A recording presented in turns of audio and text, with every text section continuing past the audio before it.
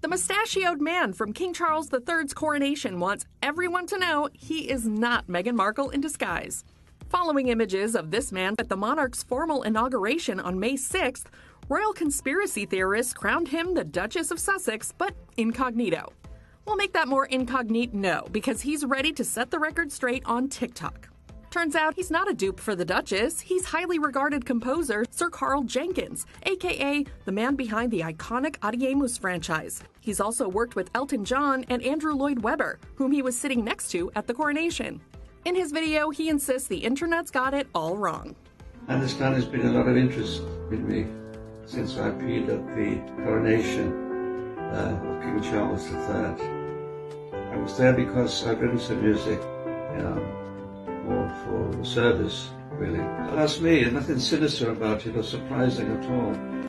Karl also wants everyone to know his style is nothing new. I look this way all the time. And he's got the royal credentials to prove it's really him. I had in addition this around my neck, which is uh, what they give people when they get a knighthood. This was around my neck, over which my tie came. This was over the tie. One fan isn't totally convinced in the comments, saying this is just what Meghan Markle in disguise would say.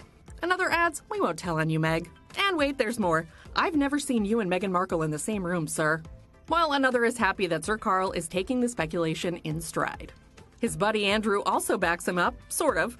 After some claims the mystery man we now know is Karl was possibly out to steal the crown jewels, Lloyd Webber tweets, I can confirm it probably wasn't Meghan Markle, and had no jewels on his person as far as I could see.